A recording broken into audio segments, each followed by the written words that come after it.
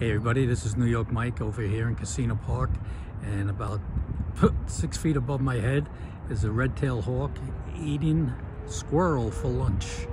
And uh, it's a great day out here in the park, folks. I would highly suggest to come on out, have some fun, enjoy life instead of sitting home, sitting on a TV on your on your butt watching TV when you could be out experiencing Mother Nature and all the wonderful things. You know, I try to get in my 10,000 steps, but you know what? Those 10,000 steps are always, always, always, I get a smile like this where I get to experience Mother Nature.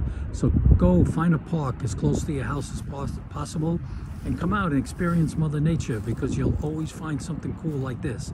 This is amazing. What a shot this is, folks. Look at him eating like crazy there. Oh man, I know it's a little rough to watch, but uh, hey, it's not liver and bacon, it's just squirrel.